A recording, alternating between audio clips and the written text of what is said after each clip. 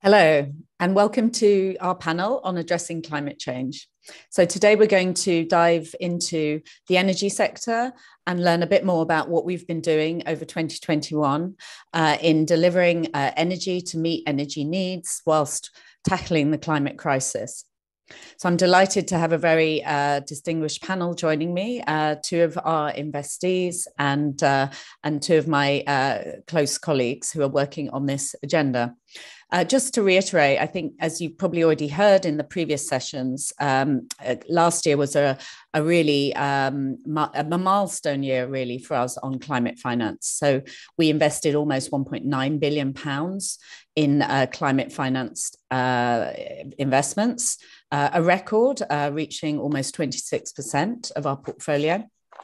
And this also represented a very significant jump from the previous year, where uh, we'd made some good investments, uh, but uh, our numbers, uh, particularly following the pandemic, had been uh, rather lower on this.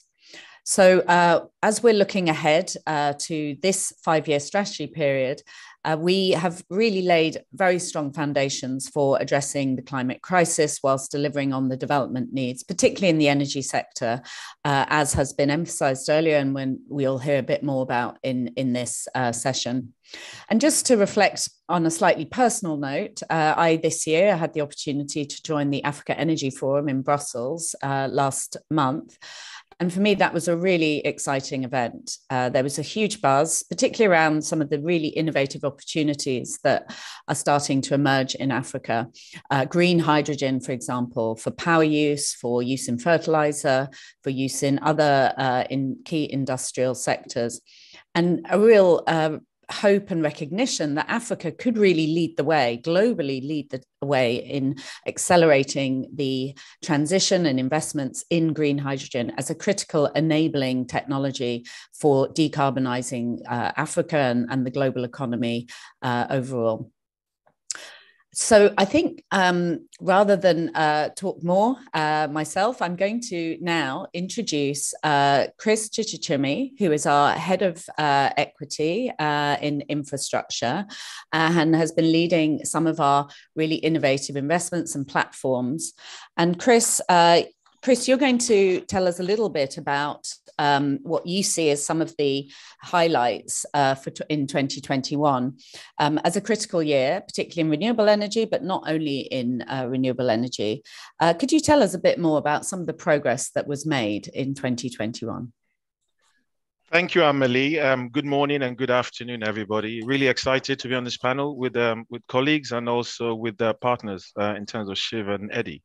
Um, so for me, last year was a very busy year for us. Uh, if I look first across the infrastructure and climate business, which is where I, I sit within, we invested over 330 million pounds uh, in renewable energy. So this this is a record number, uh, and, and, therefore quite a lot of activities took place across our business and across our region. If I pick a couple of key highlights from in terms of key investments we made. So first one being our largest investment in the power space. This is a company called Globeleq, a company we own 70% alongside Norfund, the Norwegian DFI. Globeleq, to me, is the largest um, independent power producer and developer in Africa. Uh, it's a company that has grown by a gigawatt since we invested in 2015 in the company. And a lot of the growth of this company is now coming very much in terms of renewable energy. So this company is particularly making a, a, a big impact in the renewable energy space as it applies to Africa. Um, probably uh, one key project for me that was delivered last year was one in Kenya, a solar plant called Malindi, 50 megawatt. Um, this was a plant that during the peak of construction, it employed over 3,800 people in, in the Kilifi region in, in, in Kenya. And this is a plant that was also being constructed during the height of COVID. It's now a plant that's completed and it's now producing green energy into the Kenyan grid. So for me, that's a very uh, landmark transaction in terms of what this company did. The company also developed a landmark solar and battery um, transaction in Mozambique. Um, Eddie, who sits on the board alongside myself on Globeleq, hopefully will maybe talk a little bit more about that transaction. But for me, those were the two key landmark deals that this business did. Another um, region where we increased our renewable footprint is in Pakistan. So in Pakistan, last year, we created and completed a joint venture with a local developer called the Gul Ahmed Group. On day one, the platform will have 110 megawatts of wind power which is currently going into the Pakistan grid. And the ambition of this company over the coming years is to grow five times and to be basically operating and running 500 megawatts of renewable energy in Pakistan. Um, another key business and a platform, and, and one that's quite close to my heart in terms of, you know, I come from the continent. One of the key issues around renewables in the continent is the stability of the grid. So there's a company that um, uh, BII formed um, called Gridworks. This is a company very much focused on transmission and distribution. It has now been working in the continent. One of the landmark transactions it's working on is a project called Moyi Power. This is a project in DRC where the ambition is to build a grid that will in time supply over 600,000 people who are currently not on the grid, who are currently using fossil to basically provide electricity. And the ambition of this business is to get them off fossil and for electrons to be produced from renewable and storage technology, such that in DRC we are then making a big impact. Uh, and then probably the last one for me very quickly is we've just created a new hydropower platform in Africa. Uh, Nick earlier in the session talked about this business. So this is a business alongside Norfund and Scatec, who are a developer. And the idea really is to harness the hydro potential of the continent of Africa to help the wider energy transition in Africa. So for me, a busy year, but these are probably some highlights for me within the kind of renewable energy space. Amal-Lee. Thank you, Chris, and uh, delighted that we have Eddie uh, Njoroge, who who, sorry, who will be talking a little bit more uh, about uh, Globeleq uh, investments across the continent of Africa. But before we do, I'm delighted that we have uh, Shiv Nimbargi, um, who is the managing director and CEO of Ayana. Uh, Ayana is uh, a leading renewable energy investment platform, investing in utility scale renewables in, in India. also has a very um, strong focus on gender and inclusive uh, investments. So, Shiv, um, uh, I'd, I'd love to hear more, uh, and I know our, our uh, audience love to hear more about your uh, experience with Ayana and how Ayana is uh, both working to tackle the climate crisis through its investments, but also, very importantly, delivering very strong community benefits. Yeah, uh, thanks, Amal-Lee.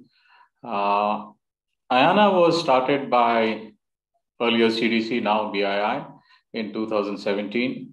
And initially, we started with a capital outlay of 100 million with an objective to get to about 300 megawatts in three years. And uh, the actual operations got started in Jan 2018. That's when I joined the company. And thereafter, as we speak today in July of 2022, this company is 3.7 gigawatt of capacity with 1.3 gigawatt of operational capacity. So in this journey, right in the first year, after the first year, we were able to attract 220 million additional capital. Uh, in addition to CDC, we had uh, NIIF, which is backed by Government of India as an anchor investor, and GGF, which again is uh, managed by Everstone Capital and Lightsource BP as the managers, with uh, funding coming again from NIIF and DFID from UK. In thereafter, you know, NIIF decided to take majority control with 51%. As on today, now we have a total capital outlay of 720 million.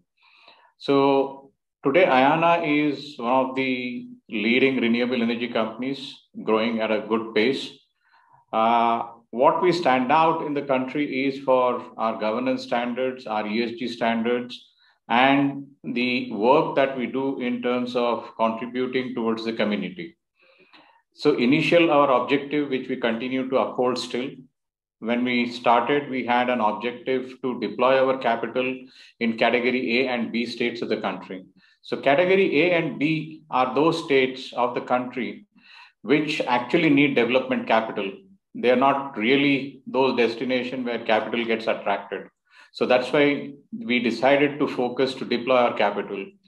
And what, you know, with pride, we can say that we were successful in deploying a lot of capital, uh, initial capital, and a lot of our projects today are operational in the category A and category B states, which is Andhra Pradesh in the southern part and Rajasthan in the northern part. So most of our operational capacity is today located in these two states.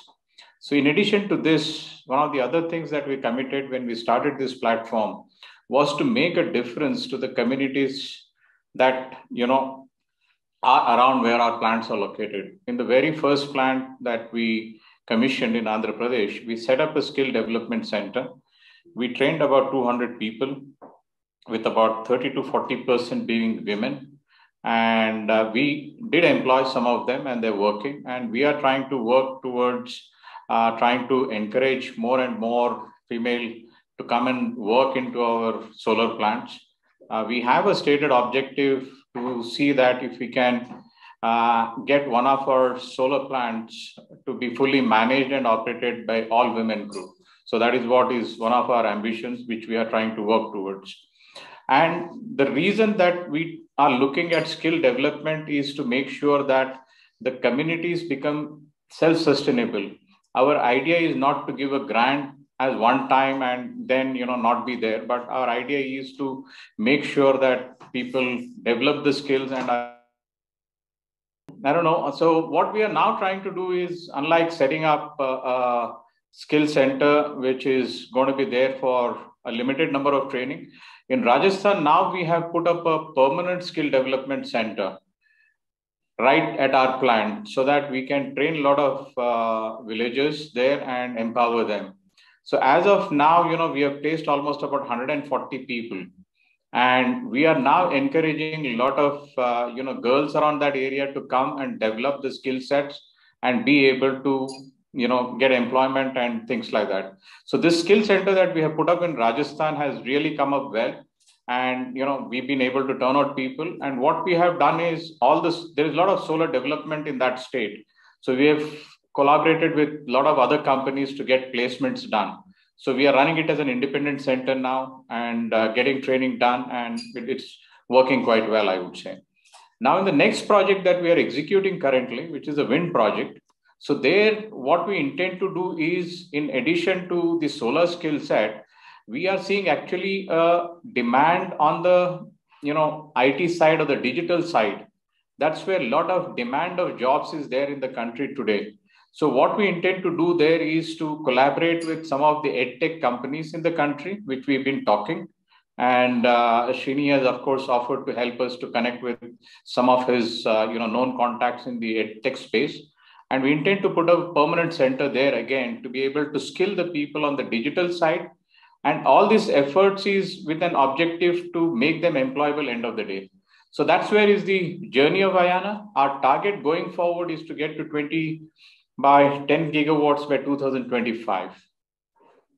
Well, thank you. It's really, uh, really interesting to hear. And I think, you know, as you emphasize the importance of strengthening uh, the opportunities for local communities, creating new jobs, um, ensuring that uh, I think, as we refer to, that um, we're contributing through our investments to a just transition as well as as countries such as India move towards uh, sort of net zero emissions over time.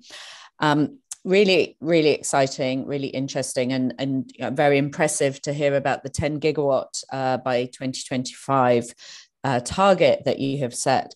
Um, of course, India has set a very uh, ambitious uh, target of 500 gigawatts uh, by 2030, and this is clearly a huge, uh, huge scale of investment and uh, presents huge opportunities uh, but also um, ensures that the need for new capital and, and helping to uh, mobilize new new finance into this space is, is critical. And I know you've been very successful over the last year in mobilizing new sources of capital. You referred a little bit to that earlier, but could you tell us a little bit more about um, how, you know, what that's been like, your journey in terms of mobilization and, uh, uh, and how you see that as contributing towards your future business?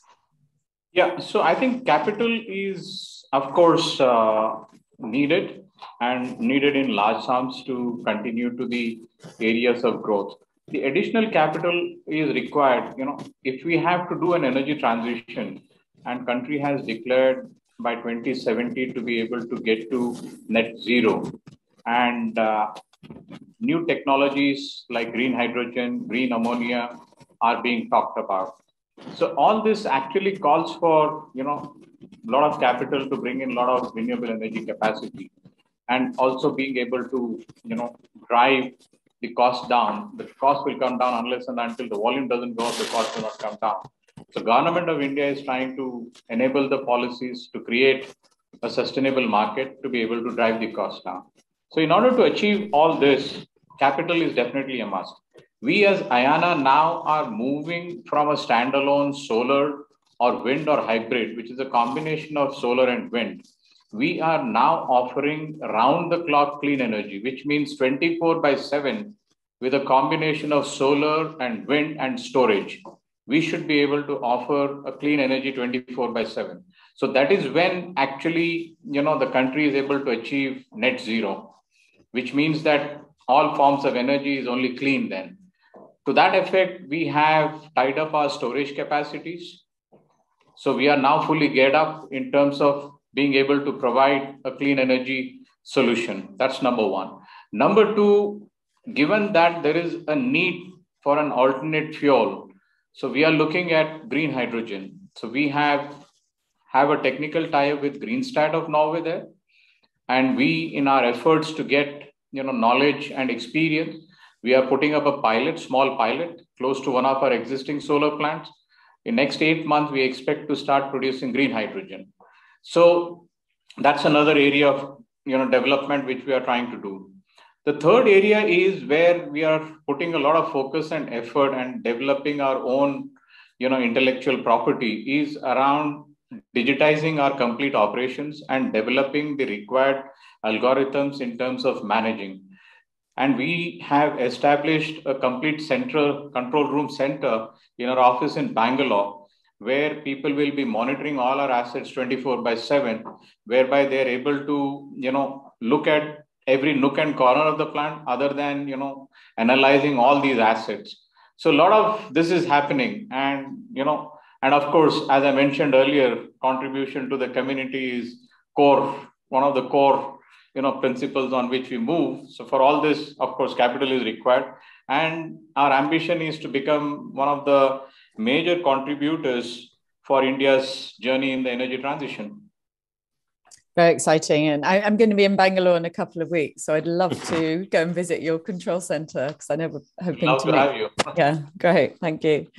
Um, thank you. So I'm going to come back to you in a uh, in a little while, but um, I'm going to turn now to Eddie uh, who is um, a non-executive director at Globeleq. Uh, so Chris uh, Chris earlier referred to Globeleq uh, as one of our key uh, investees, where we are investing in the power sector in Africa. So, Eddie, uh, could you tell us a bit more about Globeleq? Uh, uh, you know, you're one of the leading IPPs in Africa. Tell us a bit more about what, what that looks like and also how you see uh, the relationship with BII. Thank you. Thank you, Amal-Lee. And really, thank you for inviting me also to participate uh, in this panel discussion, which I feel is, is a great way of communicating in terms of what we are doing. Uh, Globeleq was a company which was acquired from Actis in 2015 uh, by BII and Norfund. So we are owned 70% by BII and uh, 30% by Norfund. And as you have just said, and Chris had said so earlier, we are indeed one of the leading IPPs uh, in Africa. Uh, we recently acquired um, a solar project in uh, Egypt, uh, a 60 megawatt uh, project, 66 megawatt project, which really made us to be in every corner of Africa. Before that, we were mainly in South Africa, where we have about 380 megawatts. We were in West Africa uh, through Cote d'Ivoire and Cameroon, where we have about 800 megawatts. And in East Africa, we were in Tanzania through Songas and Tsavo Power in Kenya, uh, which we have retired now, Tsavo Power. We still have Songas in Tanzania, which is about 190 megawatt of gas. And uh, recently, as um, Chris again mentioned, uh, we have just finished Malindi Solar, uh, which is uh, one of the best solar projects in the coast area uh, of Kenya. And there is also a development that we are doing in Mozambique in gas and uh, solar, which I'll be talking about later on. Um, so in terms of the total installed capacity right now, we have about 1,456 out of all those that I have mentioned across the continent and generating about seven gigawatts and serving about 9 million people which is uh, not, which is which is a really big impact um, on the continent. And we come from a point of view that uh, we just don't look for returns; we also look for impact. So any of those developments that we have done uh, are developments that have real impact on the country, on the people of the country, and the economic well-being of, of those countries. And therefore, we have also invested quite a lot on, on the socio-economic development of those places that we invest, and especially in South Africa. Uh, we have had um, over 185,000 people who have benefited from the socio-economic development projects that we have. I also need to say that Globeleq now, in line uh, with BII, um, BII policies, we are also committed to net zero by, by 2050. And any of the projects that we are now going into are being uh, scrutinized in terms of the NDCs of the various countries and to make sure that they're in line and that they will, we will be looking at getting to net zero uh, by, 20, uh, by 2050. Uh, so we will be going more and more into, into the renewables. Uh, we are going into geothermal also in Kenya, which is the first time that we are doing that. There is a project which um, we have negotiated and we are just waiting for one final step uh, to be able to do that. Uh, so in the renewable space, we will be in the, in the solar, wind, uh, geothermal, and uh, we are reducing in terms of the others, the gas and the HFOs. Uh, you also asked about our relationship with BII, which has been great, and we feel that BII is not just an investor, uh, just giving us funding, but also in terms of policy uh, and especially in the ESSG, um, we have had a lot of input from, um, uh, from BII as we developed our climate strategy, um, as we developed our sustainability reports. We have had a lot of support from BII, uh, which we value uh, greatly. Um, so that's really us, that's uh, and I'll be talking a bit uh, maybe later on about what we intend to do going forward. Thank you.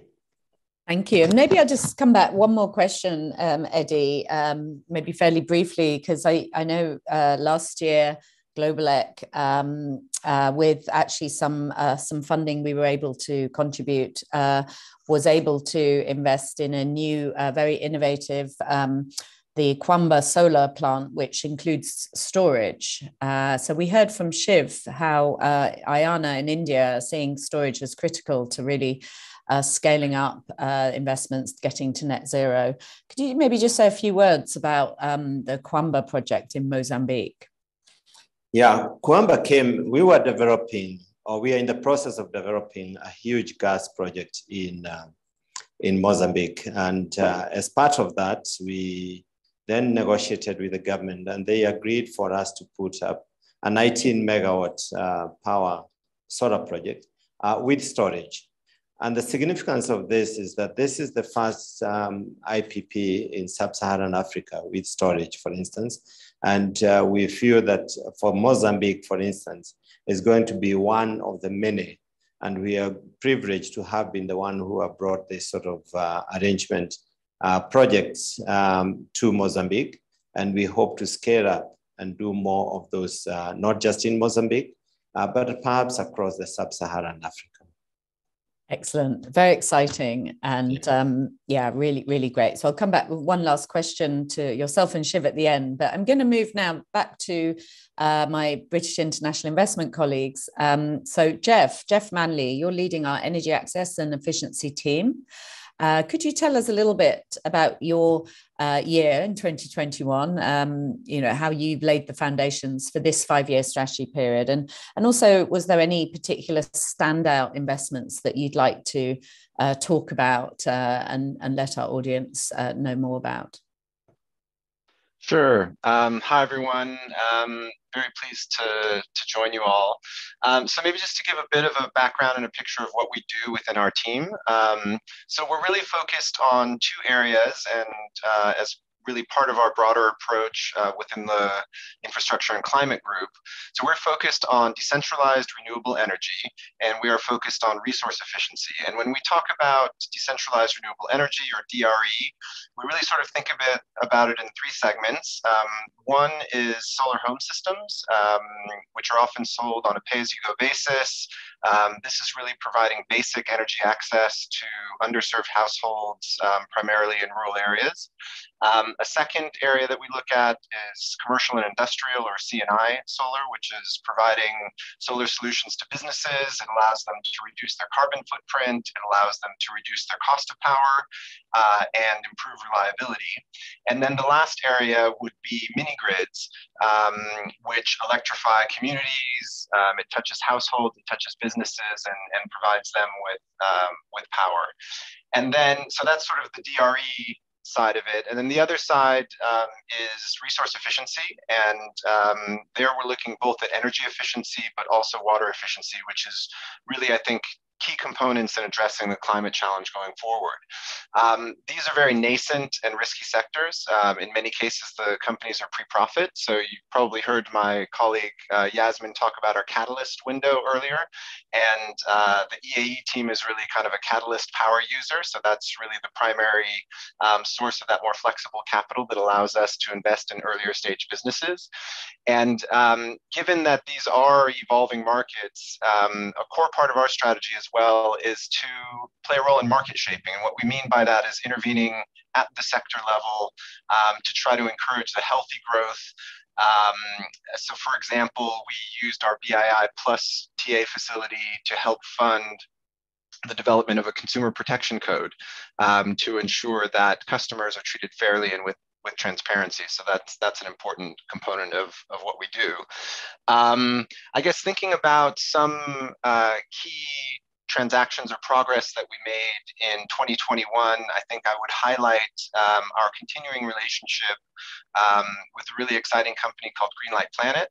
Um, this was a second facility that we closed with them in 2021 um, to support their continued growth. They are a solar home systems company with a global footprint. Kenya is their largest market. This was a local currency facility for Kenya. And I think I would also really note that we were able to bring in two commercial lenders into that facility, which is really exciting alongside um, some of the other DFIs.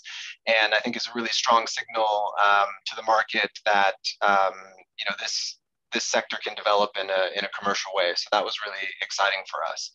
Um, another point uh, I would highlight, you know, we talked about the importance of partnership and um, others mentioned the partnership agreement that we signed uh, at the last COP with the Global Energy Alliance for People and Planet, and that has a very strong DRE or decentralized renewable energy component to that. Um, so really excited to build on that um, over the next five years. It ties into our ambitions about um, you know using blended capital structures, um, and so very excited to uh, to see that take off over the next. Thank, thank you, Jeff. And I think you know that's really important that uh, we all um, are reminded this isn't about just supply of power and you know installation of you know capacity of electricity, but critically access uh, is essential, uh, particularly in many many of the rural areas, particularly in uh, sub-Saharan Africa, um, but also critically the more efficient use of energy and water. I mean, water we know is is um, going to become increasingly scarce. So, I mean, is there a few words you could say, maybe just to unpack what you see as some of the challenges um, and opportunities as well, but some of the challenges that uh, you you were facing in in 2021 and you know looking ahead to 2020 uh, this year and beyond? Sure. I mean, it's been said uh, many times already, but obviously COVID was a huge overhang in 2021.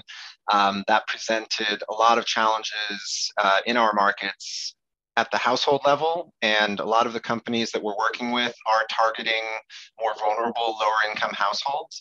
Um, so that was, you know, a, a, particular focus area for us to try to understand what was happening there, but also at the company level, um, lockdowns and um, and other challenges prevented them from delivering on their business plans. So we really made a concerted effort to try to support our portfolio companies to work with them and understand, um, you know, kind of what was happening in their markets and how we could support them in response to um, to that crisis. Um, I mean, the obviously the the, climate challenge is one that we we all know about. Um, I guess maybe what I might focus on as well is the energy access challenge. And um, there's some good news and bad news, I think. Um, we saw that in 2020, um, energy access globally uh, went over 90%, um, which is a fantastic uh, data point. But there are still 700 million people that lack access to power. Most of these people are in sub-Saharan Africa.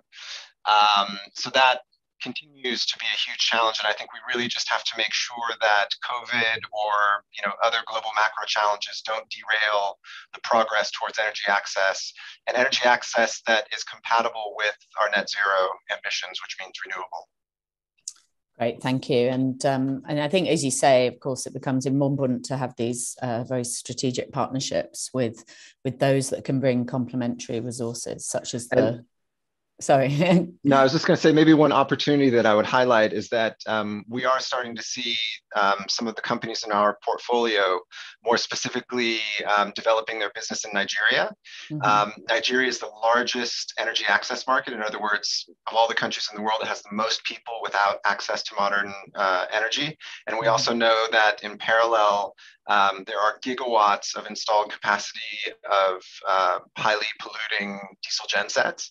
Um, so I think there's a tremendous opportunity there to both address energy access and climate through mm-hmm. solar mm-hmm. Solutions. Great, thank you. Thanks, Jeff. Um, so I'm going to come back one one last very brief um, question to you, Chris. If you could highlight one uh, standout investment from last year um, just very briefly, because then I'd like to come back to Shiv and Eddie for a final um, closing remarks. Thanks, Amal-Lee. So maybe just thinking through this. So one standout investment um, for me is um, likely our hydropower joint venture. So this is a joint venture I talked about earlier on, which is focused on harnessing what we know exists in the continent, which is the hydro capability.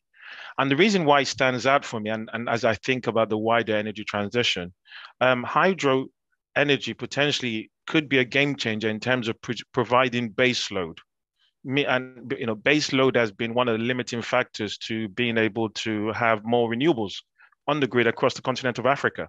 So I think the transaction which we've just done has the potential not only from a job creation perspective, you know, we we the numbers we've talked about with this transaction based on the um, try, um the pipeline it has is about 180,000 uh, potential jobs, potentially 3 million people to be supplied with electricity just from three other projects in the pipeline. So the potential with that transaction for me is huge in terms of game changing and helping the wide energy transition in the continent.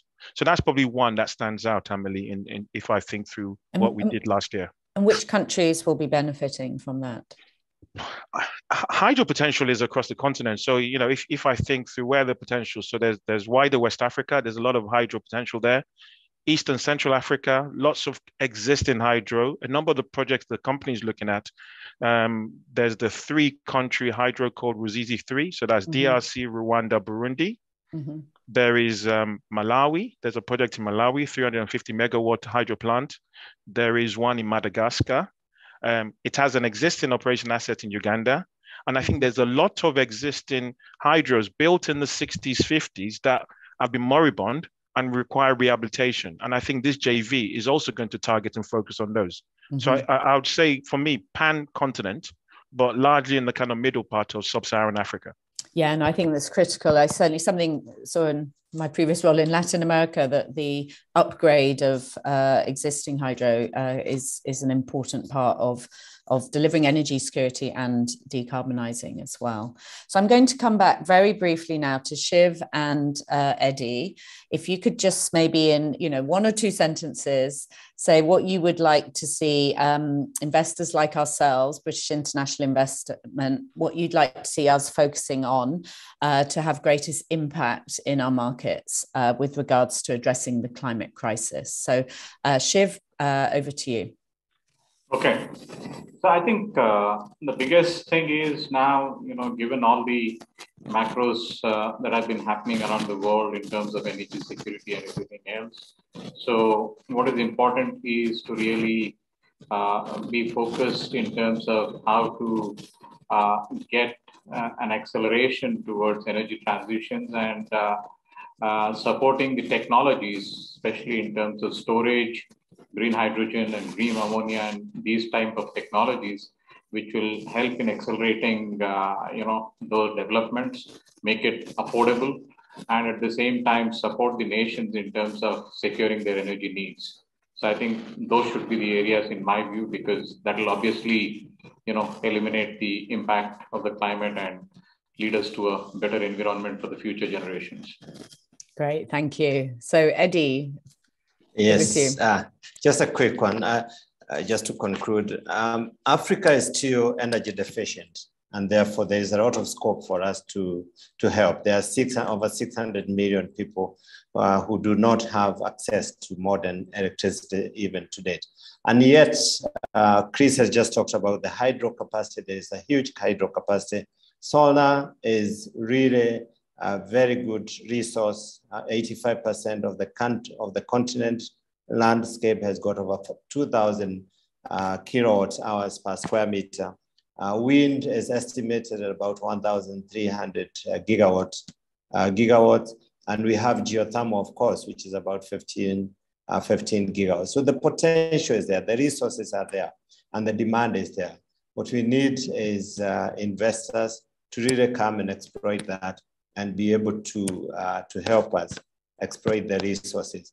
Uh, one of the things that um, obviously is important is the jet that you talked about in South Africa in terms of climate, uh, the, the contributions, for instance, of uh, uh people like BII in, in that whole project. And we as Globeleq would want to accelerate and be in the lead uh, to be able to help uh, that transition, not, not just in South Africa, but perhaps across across the, the continent. Yeah. Oh, over to Thank you. Thank you very much. And you brought, yes, the Just Energy Transition Partnership, a key yeah. initiative. Uh, our CEO, Nick O'Donoghue, referred to that as well in his um, uh, the earlier session. So I think, you know, just to summarize, I think based on um, all the, the great discussion and insights from uh, all of our panelists, I mean, it sounds like uh, we are hopefully on the right track. We've built the right foundations. Um, we've got to continue to innovate. Uh, we've critically got to help uh, drive down the costs and bring, uh, ensure affordability of these more innovative technologies and solutions uh, a big focus on partnerships and the need to partner uh, with investees such as uh, Ayana and, and Globeleq, uh, as well as with others uh, who can bring very complementary resources and, uh, and expertise to this agenda. And uh, we certainly have a very big agenda over this next five year strategy period.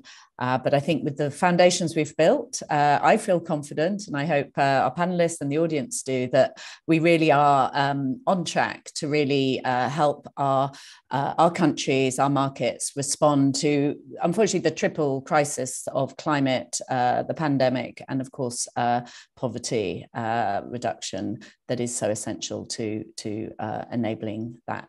So, thank you, everyone, and um, I'll now hand back to to Lindsay, who will um, introduce and convene the last panel. Thank you. Bye bye.